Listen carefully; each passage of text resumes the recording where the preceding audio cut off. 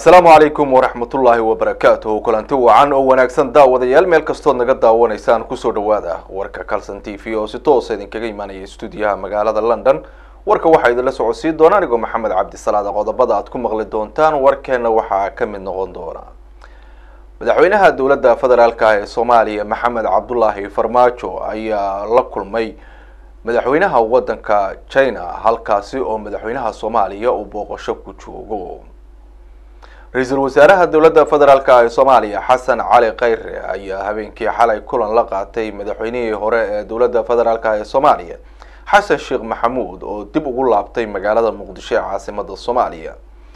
Shaqala-aanta baahsan ee ka jirta guud ahaan gobollada kala duwan ee somalilan iyo ardayda jaamacadaha ka soo baxaysa oo la sheegay in marba marka ka dambeysa ay sii siyaadeyso oo warbixin ku saabsan arrintaasi aan idinkaga diyaarinay ayaa sidoo kale waxaad ku maqli doontaan warkeena qodobada kale ee warkeena aad ku daawo doontaan waxaa ka mid noqon doonaa siyaasi caan ah oo horey u ahaa fanaan si weyn looga yaqaano gudaha wadanka uganda. Ayaa hadda waxa uu noqday mid si weyn siyaasadiisa looga dareemo guud ahaan dalka uganda waxaana hadda la sheegay in ay sababtay arrintaasi in xabsiga loo taxaabo qodobadaas iyo qodobo kale oo ay ka mid yihiin wararkii ugu dambeeyey ee bariga africa ayaad ku maqli doontaan warkeena balse marka hore qadaro yar oo adeega bulshada ah.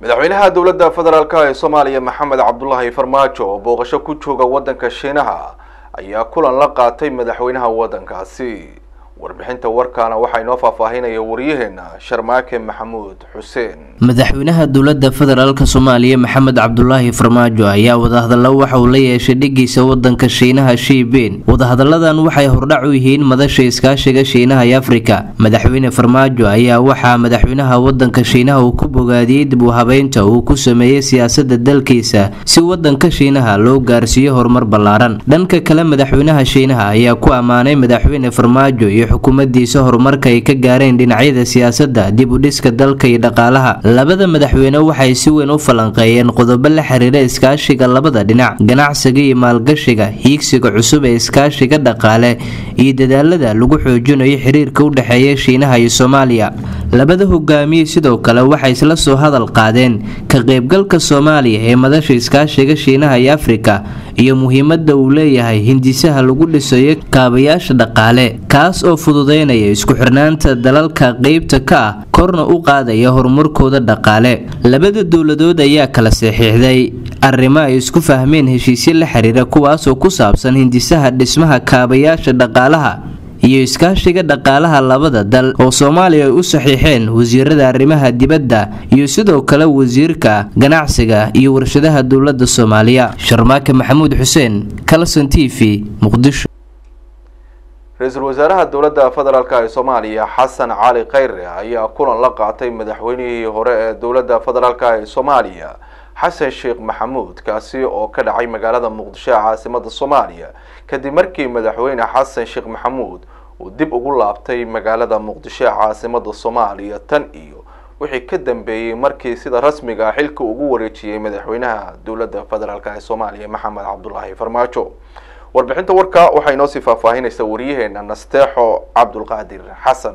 Ra'iisul wasaaraha xukuumadda federaalka soomaaliya xasan cali khayre ayaa hoyga uu magaalada muqdisho ka degan yahay ku booqday madaxweynihii hore ee soomaaliya xasan sheekh maxamuud. Khayre ayaa ujeedada booqashadiis waxa ay la xiriirtay si uu xasan sheekh ugu muujiyo soo dhoweyn hab maamuus leh waxayna mas'uuliyiintan yeesheen kulan muhiim ah oo ay kaga hadlayeen xaalada dalka iyo sidii wadajir la ysaga kaashan lahaa horumarinta dowladnimada soomaaliya ra'iisul wasaare khayre ayaa madaxweynihii hore ee dalka warbixin ka siiyey marxalada dalka sida siyaasada amniga iyo dhaqaalaha oo ay guulo waaweyn ka sameysay dowladda soomaaliya. Madaxweynihii hore ee soomaaliya xasan sheekh maxamuud ayaa soo dhaweeyey horumarka la gaaray wuxuuna xusay dhammaan bulshada soomaaliyeed in looga baahan yahay inay taageeraan dowladnimada soomaaliya nasteexa cabdulqaadir xasan tv-ga caalamiga ee kalson magaalada muqdisho. Shaqala-aanta baahsan ee ka jirta gobollada somalilan iyo weliba ardayda soo badanaysa ee sanadba sanadka ka dambeysa kor u sii kacaysa ee ka soo baxaysa jaamacadaha ku yaalla gudaha somalilan ayaa waxa ay noqdeen kuwo saameyn xoogan xilligan ku yeeshay guud ahaan gobollada kala duwan ee somalilan waxaana si weyn looga dareemayaa in shaqala-aan baahsan ay haysato dhalinyarada gaar ahaan kuwa jaamacadaha ka soo baxay waxaana aragtidooda ay ka dhiibteen bal sida xilligan ay la tahay in lagu abuuri karo shaqooyin iyo waxa looga baahan yahay xukuumadda. Warbixinta waxaa inoo sii faahfaahinaya wariyaheena magaalada hargeysa ee caasimada somalilan cabdishakuur haybe. Heerka shaqala-aanta dhallinyarada waxbaratay ee somalilan ayaa sii kordhaysa. Xilli sidoo kale ay sii kordhayso tirada dhallinyarada ka qalinjabinaysa jaamacadaha. Sanadkan oo keliya jaamacadaha somalilan waxaa la filayaa in ay ka baxaan in ku dhow shan kun oo arday. Sidaasoo ay tahayna ma helaan. Marka ay waxbarashada dhammaystaan shaqooyinkii ay ku taami jireen intii ay waxbarashada ku jireen qaar badan oo ka mid ihi waa ay taariibaan. Halka qaar kale oo badanna ay iska joogaan xaafadaha iyo suuqyada kala duwan iyagoon wax camal haynin bilaa camalka laga hadlayaa. Bilaa camalku hadda wuxuu saameeyey dhalinyaro badan oo jaamacada ka soo baxday. Mar waxaan ka baxay two thousand seventeenkii kulliyadda marka waxaad arkaysaa dhalinyaro badan oo bilaa camal ah oo ay camal la'aantu saamaysay. Wax bishaqaanu haynaa ma jirto. Markaas tahdo meel habkii shaqaalaha loo qaadan lahaa ama wixii loo habeyn lahaa ama geyso imtixaan haddaad gasho waa wax qoontaysnaa markii hore laga fikiro mar hore la qaybsaday. Dhalinyarada jaamacadaha ka baxaya shalay ay ugu dambeysay sagaalka boqol iyo soddonka arday dalka shaqa way taallaa. Buuraha daab baa ku jira. Nin walba waa shaqaysan laakiin xafiiskii gaadhi cad baynu doonaynaa. Dalku hadduu boqol xafiis ka soo baxo boqol iyo kumuu qaybsamayaa somalilan daraasad ay samaysay qaramada midoobay ayaa waxa ay sheegtay in boqolkiiba toddobaatan wax shaqaha aanay haynin. Doctor maxamed sulub waa khabiir dhanka shaqaabuurka islamarkaana wax ka dhiga jaamacadaha somalilan. Wuxuu ka waramayaa sida looga bixi karo shaqala-aanta ka jirta xilligani. Ugu muhiimsan dhalinyartii oon lahayn xirfadii farsamada. Aan lahayn iyo iyo dalkii oonay ka furnayn iskuuladii ama dugsiyadii farsamada gacanta waxaa lagaga bixi karaa sameeyo dugsiyadii farsamada gacanta waa kow. Labaadna waa in dhaqaalihii economic diversification in la sameeyo oo xukuumadda welibana waxaa laga doonayaa in raw material xoolaheenan raw materialka lagu dhoofinayo inay additional value ku sameyso oo ay inta la package gareeyo. Iyagoo halkan lagu iyagoo packagega oo hilibkii la sii sameeyo packagera in la dhoofiyo maxamed jaamac waa ganacsade daayar isagu wuxuu aaminsan yahay aragtitaa ka duwan. Waxaanu ii sheegay in aanay somalilan wax shaqala-aani aanay ka jirin laakiin ay jirto isfahan la'aan. Shaqala-aantu qayb ka mid ay tahay mid la sameeyey. Ee markaan eegay sababo fara badan jamhuuriyadda somalilan waxaad moodaa in dad fara badan oo bilaa camal ay ku nool yihiin haddana waxaa la doonaa dad shaqeeya oo shaqaalahana waa la raadiyaa waxaa jirta qodob ah isfahan la'aan. Bulshadii loo shaqaynayey iyo dadkii dhallinyarada ahaa ee aqoonyahanka ee shaqadoonka ahaa. Ninka dhallinyarada ee shaqadoonka ah markaa tiraada maxaad u shaqaynayda wuxuu oranayaa aqoonyahan baan ahay jaamacad baan ka baxay ama dugsi saraan ka soo baxay mushaharka la siinayaa wax aanan igu filnayn. Nin dhallinyaraa baa tahay. Waxaad qaadanaysaa hadday boqol doolar tahay. Ku kafayn karaysaa. Haddaadan reer iyo xaas lahayn inaad qabato shaqada yar shaqada weyn bay kugu tilmaamayso marka dhallinyaradu iyagoo xagga bulshadii marka hadduu meel yar ka shaqeeya waxaa la oranaya ninkii aqoonyahanka ahay nooca ahaa wuxuu ka shaqeeyaa. Meel yaro aan waxba ka dawahayn dabeetana dadka ayaa ku kalifaya in qofkaasu bilaa camal noqdo. Bulshada jamhuuriyadda somalilanna iyada ayaa samaysay waxaa la yidhahda bilaa camalka madaxweynaha somalilan muuse biixi cabdi ayaa toddobaadkii dhoweyd waxa uu magaalada hargeysa ka furay mashruuca shaqo qaran taasoo la filayo inuu wax weyn ka taro shaqala-aanta ka jirta xilligani somalilan. Muwaadin qaban karo waxaa inoo guddoona inaanu qof ajnabi haynin. Qolada ganacsatada ee ka dayrisay farsamo xumadeenna ama inaa dadkeenu farsamada aqoon iyo wasaaradda bixisa shaqada ogolaanshaha in ajaanib la keena ha isla hubiyeen shaqada ninka ajnabigii halkan u yimid inaynu qaban karno aad arrintaa laga hubsado sababtoo ah waxaa aad loo hadalhayaa oo guuxoodi ka jira in shaqooyin badan oynu aqoonteeda leenahay dad ajnabi hayaan. Waxaana noo nisbayaa inta badan inay keenaan private sectorka ama baaci mushtarku oo ay ku degdegaan iyagoon hubinin inuu shaqada haynayan kale. Arrintaa waxaan jecelahay in laysla hubsado qodobka labaad waxay noo guddaanaa institution weyn waa hay'ad weyn. Mar qura hagaagi karto laakiin waxaa naga go'aana inuu ra'yigaa ilaa lixdankii soo jiray ee heesaha badan laga tiriyey ee dadkao dhan ka shakisan yahay inaanu ku dadaalno inaanu arrintaa bedelno mustaqbalka soo socda. Dadkuna aaminaan in dowladdu wixii loo dhiiban la arki karo. Shaqala-aanta ka jirta somalilan ayaa ah mid sanadba sanad ka dambaysa kor u sii kacaysa iyadoo tirada ardayda ka soo baxaysa jaamacadhuna sanadba sanad ka dambeeya ay soo kordhayaan cabdishakuur haybe calson t v magaalada hargeysa. Waa tahay daawadayaal halka warkaasi kala socotaana waa calson t v xaruntiisa magaalada london. Iminkana waxaa la soo gaaray xilligii maalin waliba oo jimcaha idiin soo gudbi jirna wararka bariga africa alaaba waxa inoo soo diyaariya wariyaheena stuudiyaha magaalada nairobi ee wadanka kenya. Bismillaahi raxmaani raxiim kulan wacan daawadayaal idil ahaan meel kastoo aad joogtaan. Kusoo dhawaada wararka bariga africa oo jimco walba aad ku daawataan. Warka tv-ga calson magacaygu waa baashi cumar. Qodobada aan wararka bariga africa idinkugu hayo waxaa ka mid ah madaxweynaha dowladda kenya uhuru kenyatta oo kulan la qaatay madaxweynaha mareykanka ayaa kala hadlay arrimo dhowr ah oo ay ka mid yihiin iskaashiga ammaanka ganacsiga iyo maalgashiga. Gaar ahaan uhuru kenyatta ayaa sheegay wakhtiga ciidamada kenya ay ka baxayaan soomaaliya wuxuuna sheegay arrintan inay ka mid ahayd qodobada ay ka wada hadleen madaxweynaha mareykanka isagoona tilmaamay in wakhtiga ugu dhow soomaaliya ay ka saari doonaan ciidankooda.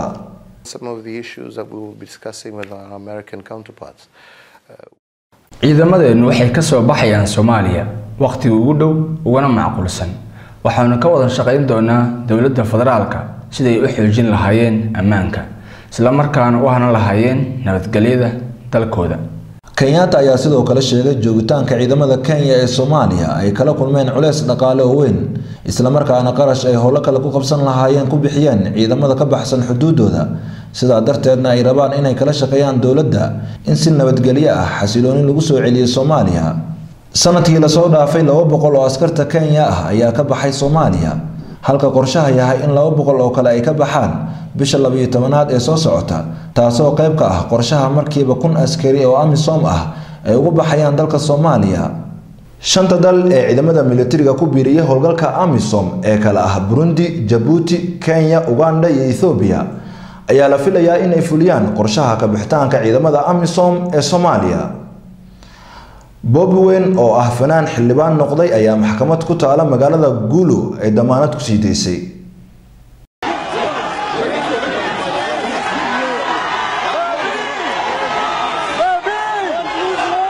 xildhibaankan mucaaradka ah iyo koo iyo toban kale oo lala xiray ayaa damiin aan lacag ahayn lagu sii daayay. Bobi weyn ayaa lagu eedeeyay dembi ah khiyaano qaran. Dembiga loo haysto ayaa waxaa ka mid ah inuu abaabulo koox dhagxaan ku tuurtay gaadiid uu la socday madaxweyne museveni. Maxkamad militari oo jimcihii la soo dhaafay la horgeeyey ayaa ku weysay bobi weyn dembi ah haysasho hub sharci darro ah.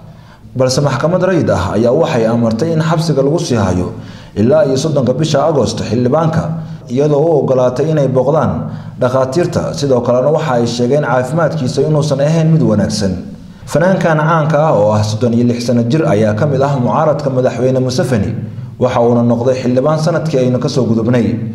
Maalmihii la soo dhaafay ayaa xukuumadda uganda waxaa saarnaa cadaadis ah inay sii dayso bobi weyn iyadoo tobanaan muusigiistayaal dunida dacaladiisa ku kala nool ay ku baaqeen in la sii daayo iyagoo cambaareeyay jirdil loo geystay dowladda itoobiya ayaa markii ugu horeysay ka dhawaajisay in la sameeyey xafiis u gaar ah ururada hubeysan ee dalka itoobiya kaa oo ka shaqeyn doona sidii hubka dhigis loogu sameyn lahaa.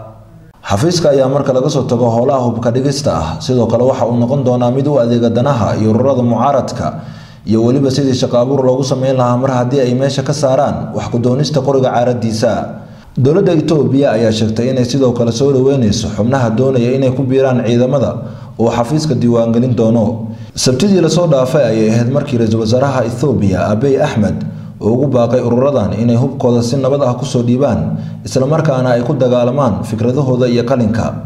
Ururada dhowaan gogasha nabadeed ee dowladda ethoobiya u fidisa waxaa ka mid ah ururka onolef iyo ololef hase yeeshee kama jawaabin ilaa iyo hadda baaqi ra'iisul wasaare abey iyo weliba xafiiskan la furay. Waa tahay daawadayaal gabagabadii wararka bariga afrika ayaynu isla soo gaarnay maxkamad ku taala magaalada bombaaso ee dalka kenya ayaa joojisay dhageysiga dacwad loo haystay laba haween oo ku eedeysan al-shabaabnimo kadib muuqaalo ay mooboladooda ku duubeen. Labada haween oo lagu kala magacaabo fayrus xamiid abuubakar iyo shamse abuubakar ayaa ka hor inta aysan bilaaban maxkamadeyntooda waxa ay duubeen muuqaalka goobta dhageysiga dacwadooda ka dhici lahayd. Shaki badan ayaa galay garsooraha maxkamadda markii uu arkay iyaga oo duubaya muuqaalka guud ahaaneed ee goobta. Waxa uuna amar ku bixiyey in xabsiga la dhigo oo baaritaan lagu sameeyo habka taleefanada casriga ku heleen iyo ujeedada muuqaalka ay ka leeyihiin. Qaadiga maxkamadda magaalada bombaaso ayaa amray in maalinta beri ah dib loo soo celiyay labada eedeysane oo loo haysto falal la xiriira argagixisnimo jaja muwit oo ah qareenka labada haween ayaa codsaday in maxkamadeynta sii socoto balse garsooraha ayaa ka diiday dalabkiisa. Marar badan ayaa maxkamad ku taala magaalada bombaaso la soo taaga dad ku eedeysan falalka argagixisada ee ka dhaca dalka kenya guud ahaan daawadayaal intaas ayaan ku soo gabagabeynayaa wararka bariga afrika oo aad kala socoteen tv-ga kalsan xaruntiisa magaalada nairobi. Intaynu mar kale kulmayno sidaas iyo nabaddiino koonkan aadmiga jooga qof kastaa kurbadiisiyo kaskiisuu hadlayaaho dadku waa kalamaan. Haddii aad kululaato halla boodin ka shee kaalintaada ka qaado dadku waa kalamaane. Wixii kula wanaagsan qaar baa kohanayee ha kasoomin dhegayste dadku waa kalamaane. Intaasi waa kaftan waanee markanna ku soo dhowaada xubintii kalamaan. Maryaadhaha heergeed fadhiya. Beriga waraan idiin haya madaxweynihii hore soomaaliya xasan sheekh maxamuudaa beriga yimid. Oo la soo dhoweeyey. Xaa la yidhi ma taqaanin marti maahid. Hoo midigta. Meehaan aad joogtana minankaagi weeya war madaxweynihii hore waxaa soo dhoweeyey. Wasiirro iyo xildhibaanno. Xildhibaannada gartaye. Wasiirrada ma loo fasaxay mise khiyaarkooday ku aadeen? Xildhibaan fiqi wuxuu yidhi maanta xukuumaddu kartiyay muujisay. Waxayna u bareereen inay madaxweynihii hore si hufan u soo dhoweeyaan marka haddaad arki jirteen dawlad colaadisa dawladdii ka horraysay dhaqankaas waa laga gud war haddii wasiirrada soo dhoweynta loo fasaxay maxaa wasiirka arrimaha gudaha qarafaan iyo guddoomiyaha gobolka injineer yariisow maxay u soo dhoweyn waayeen mayliyaabsinya war hasan sheegaha nagadii erten markii horena qabiyo lanjeewa dhimeetirewa ka ogaayi qabiyoodya dhimeetirowshankooyey war boorarkii qabyo ninkeeda dhammaystira ay ku qornaayeen mar horaa la fuji war qabyada madaxweyne farmaajaa dhammaystiraya xasan sheekh hawl u taala taasi maahan war madaxweyne farmaajo wuxuu yidhi ebelaan ka bilaabay.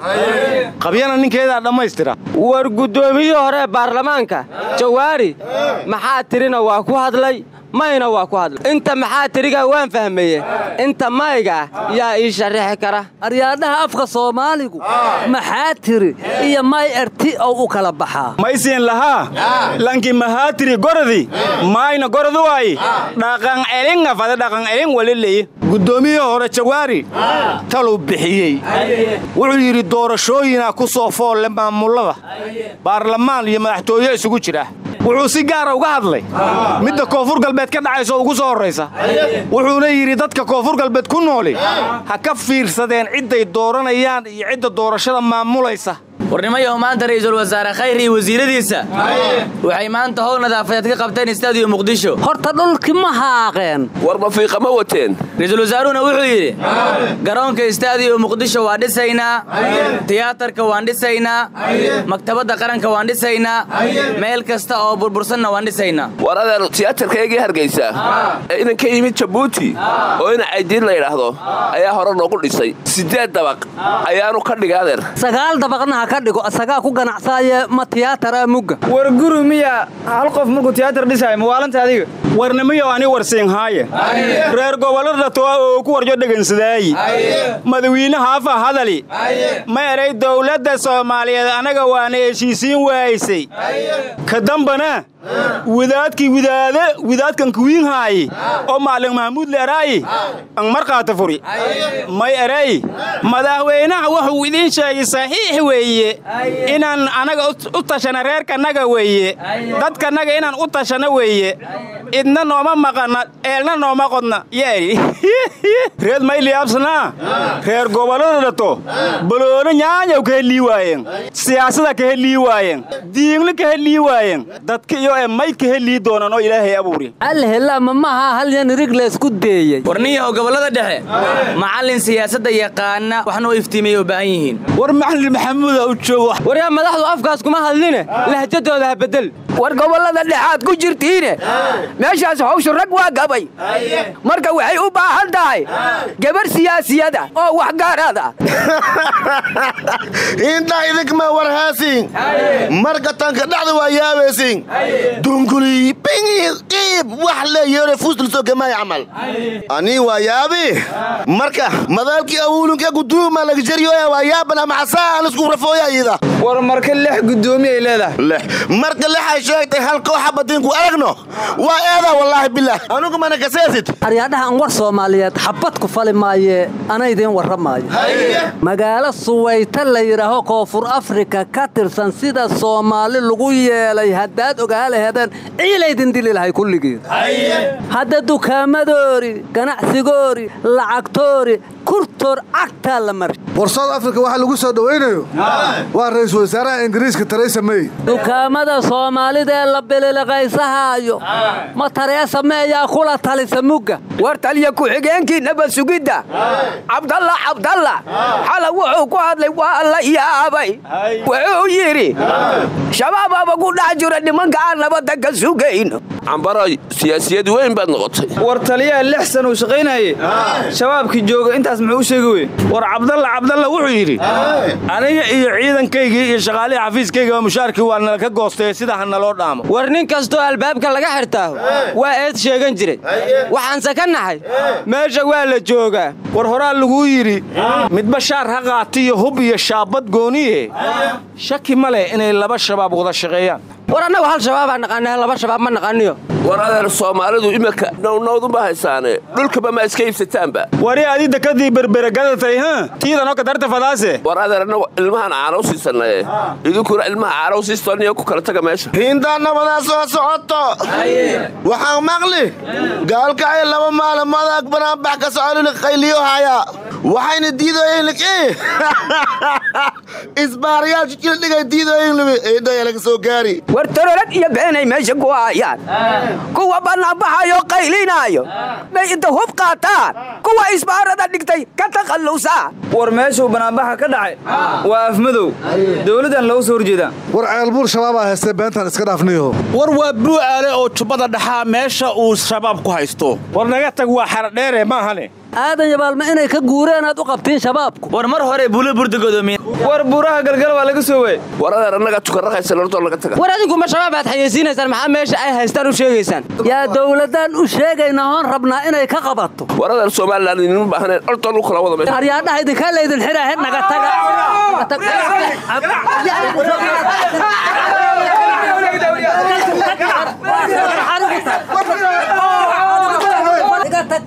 ka jabe waa tahay daawadayaal guud ahaan warkiina intaa ayaa ku soo gabagabaynaynaa warka waxaa idinla socodsiinaya. Anigoo maxamed cabdisalaada intaan warkan warka xiga ku kulmi doono dhammaanteen waxaa idinkaga tegaynaa sidaa iyo nabadgelyo wasalaamu calaykum waraxmatullaahi wabarakaatu